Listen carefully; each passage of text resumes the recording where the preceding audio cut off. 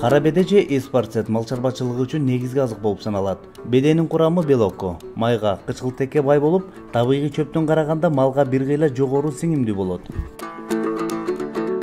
Кара беде көп жылдык өсүмдүк. Чанактуу өсүмдүктөрдүн ичинен эспарцет алгач бир сабак болуп гүлдөп кийинки жылдары жети сегиз сабакка чейин көбөйүп арасы коюлай баштайт. Эң негизгиси анын курамындагы витаминдик баалуулуктарын сактап калуу үчүн. Өстүрүүдөн тарта малга берүүгө чейин туура багууну сунуштайбыз беде өстүрүүдө дыйкандар негизги сегиз эрежени карманышы керек.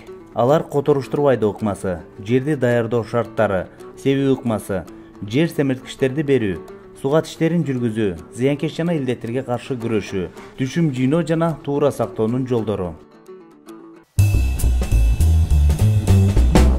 топурактын кыртышы калыбына келип тыныгуу алуу үчүн которуштурбайды андан тышкары зыянкечтер жана илдеттерден арылтууга жакшы. Биологиялык өзгөчөлүгү бирдей илдеттери окшош өсүмдүктөр кант кызылчасы. Күн карамадан кийин себүүгө болбойт бедени картошка күрүч тамеки пахта дан өсүмдүктөрүнөн кийин себүү жакшы натыйжа берет. Беде кара топурактуу жумшак жерде жакшы өсөт кумдак чопо жерлер анча жакшы болбойт. Кара беде суукту сүйбөйт. Бирок кыргызстандын шартында деңиз деңгээлинен эки миң метр бийиктиктеги тоолуу чөлкөмдөрдө өсүрүлүүдө. Ошондой эле бактардын арасынан көлөкө эрте түшчү тоолордун арасына себүү сунушталбайт. Анткени өсүмдүккө жеткиликтүү күн тийбей түшүмдүүлүк жоголот жер дайдоо үрөн тандоодон да көбүрөөк маанилүү. Эспарцет үчүн дискалап себүү жарабайт. Дискке салууда ото чөптөрдүн тамыры толук өлбөй беденин өсүшүнө тоскоолдук жаратат. Андыктан жерди айдоо жолун тандап алабыз. Тактап айтканда жерди соком менен айдап алабыз. Топуракты майдалап бир нече ирет түздөйбүз. Сугаруу учурунда жеңил болуусу үчүн майдап культивациядан өткөрсөк болот. Себүүгө сеялка техникасы колдонулат. Эспарцет же кара беденин үшүк албаган жакшы уруктарын тандап алышыңыз керек. Жаш эспарцетти күндүн аптабынан коргоочу көлөкөй болушу үчүн башка дан өсүмдүктөрү менен аралаштырып себипкениңиз туура эспарцет же беде үрөнү үч алты сантиметр тереңдикке чейин эгилет ортоңку ылдыйкы анан өйдөкү зона. Ошол зоналардагы э, себилүү мөөнөтү ар түрдүү да мисалы үчүн могуреки ылдыйкы ортоңку зонага апрелдин биринчи декадасында өйдөкү зонада апрелдин экинчи декадасы үчүнчү декасында декадасына себилет да эми бирок ал себүү мөөнөтү сортуна жараша болот анткени эрте бишчү сорт бар кеч бишчү сорттор бар эспарцеттин үрөнү бир эки градус күн жылымдай баштаганда өнө баштайт оптималдуу өсүү температурасы плюс беш градустан он сегиз жыйырма беш градуска чейин ал эми кара беденики болсо плюс үч градустан он сегиз жыйырма беш градуска чейин эспарцеттин уругун билесиздерго ана деген чоң анан жалпак болот да мындай будуралакей ал будуралакей ана эмеден сактайт да жанагыраки зыянкеч курт кумурскадан сактайт. Э, анан ошонусу бар бул э, эмеге караганда. Э, анан аныкы жанагы себүү тереңдиги тигиники беш алты сантиметр эспарцеттики тиги беденики болсо майда да анан миң уруктун салмагы бир эки граммды түзөт. Бир сегиз эки граммды ошон үчүн анын жанагыеки жаткан могу э, жаткан жери э, топурактын мех составына жараша да э, беденики бир жарым сантиметр. Бир бир жарым бир сегиз. Андан тереңирээк болуп калса мисалы үчүн эки үч сантиметр болуп калса ал болсо жата берет баягыреки өнүгүү жөндөмү бар бирок жата берет. Жата бер аны курт кумурска жеп коюшу мүмкүн.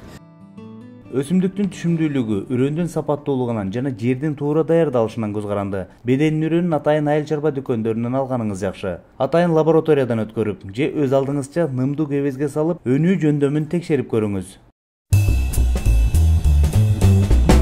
Жакшы түшүм алуу үчүн органикалык жер семирткичтерди берүү керек. Бир гектарына жыйырма беш отуз тонна чирген кык туура келет кыкты биринчи жылы айдоо алдында. Калган жылдары кеч күздө же эрте жазда берген жакшы ошондой эле курамында фосфор калий бар жер семирткичтер өсүмдүктүн негизги азыгы катары берилет фосфордук азык үчүн амофоздун эки жүз килограммын эрте жазда бир гектарга беребиз ошондой эле калий хлоридинин жүз элүү килограммын эрте жазда бир гектарга берсек болот эгер жер арык болсо көп жылдык чөптөр үчүн биринчи жылы азоттук азык болгон жүз отуз килограмм мочевина же жүз сексен килограмм селитраны бир гектарга бедени сепкенден бир жарым айдан кийин берсек туура. Азоттун жетиштүүлүгүн билүү үчүн беденин тамырын жулуп көрүңүз. Эгерде азот топтоочу бактериялары аз болсо же кичинекей болсо азоттук азыкты сөзсүз бериш керек.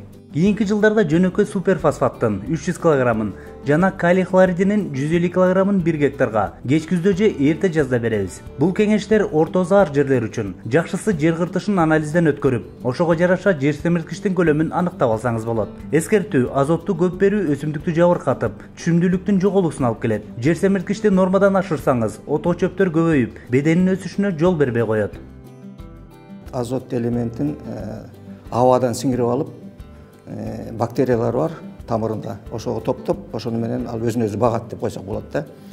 Фосфор калий жерсемирткичтердин болсо биринчи кезекте ошол топурактын курамына жараша колдонулат. Бериле турган убактысы кайсы болушу мүмкүн? Биз жакшы билебиз фосфор жерсемирткичи бул э, абдан ача ээри турган туз. Ошондуктан муну алдын ала берүүсү зарыл ошондуктан алдын ала берүүсү кайсыл убакта болушу мүмкүн? Ал ошол баягы тоңдурма алдына. Вегетациялык өсүү учурунда кара беден менен эспарцетке нымдуулук өтө көп керек болот. Биринчи жылы тамырын жабыркатып албоо үчүн аз өлчөмдө жай аккан суу менен үч төрт ирет гана сугаруу керек. Тактап айтканда бир гектарына төрт жүз беш жүз куб суу керектелет. Кийинки жылдарда күндүн табына карап нымдуулукту такай кармап турганыңыз жакшы. Суу көлкүлдөп турбашы үчүн арык тартып тамырлары дем алуусу үчүн тырмоок салып туруу керек. Биз вегетация мөөнөтү дейбиз бул бир өнүп чыккандан Э, бир чабыкка бергенге берген убактын вегетация мөөнөтү дейбиз чабып алгандан кийин обязательно бир суугат жумушун жүргүзүш керек. Гектарына сегиз жүз сегиз жүз тогуз жүз куб метр суу менен суу коюш керек.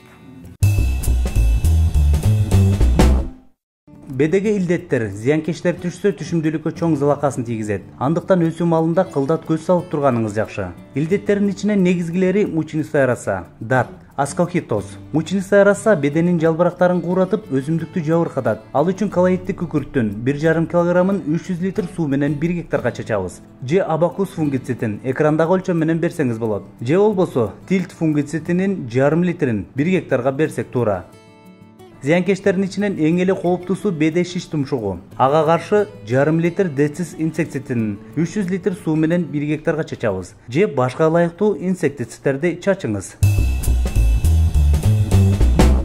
Кара беде же эспарцет он он беш пайыз гүлдөгөн маалда чабылат. Бул учурда өсүмдүк жумшак болуп курамында белок жетиштүү болгондуктан саан уйлар үчүн эң эле жакшы.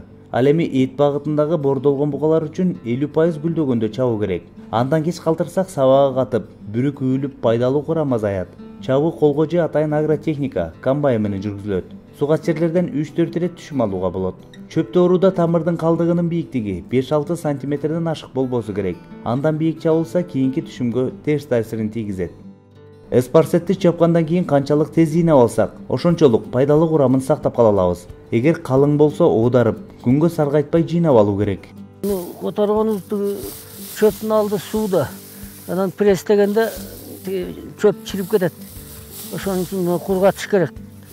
Кургатып туруп анан пресстеш керек да анан ошондо малга жагымдуу болот мындай оодарууну техниканын жардамы менен да кылууга болот оодаруу учурунда чөп желдеп кургаса бир эсептен түктөөгө сол жасалат кадыресе талаадан алты жүз түк чөп алууга болот туура агротехникалык иштерди жүргүзүп жакшы багылган бир гектардан тогуз жүз түк түшүм аласыз аны орточо жүз сомдон эсептегенде эле жыл сайын токсон миң сом киреше түшөт дегенди билдирет жыйноонун эки түрү бар. Чөптү кургатпастан дароо ордунан майдалай комбайн менен чаап сенаж жасоого болот. Союз таркагандан бери кыргызстанда акыркы жылдары мындай практика кайрадан колдонула баштады кургак чөпкө караганда сенаж менен малды тоюттандырууда пайдалуу курамы сакталып малдын эттүүлүгүн жана сүттүүлүгүн кармап турууга чоң мүмкүнчүлүк болот. Мунун эмнеси жакшы малга алтымыш беш процент. Могу азыр көк кезинде кандай болсо ошондой сакталат да сенаж болгондочу ошол үчүн мунун отход аз чыгат малга жагымдуу болот бул ал эми кургак чөптү суу кирбегидей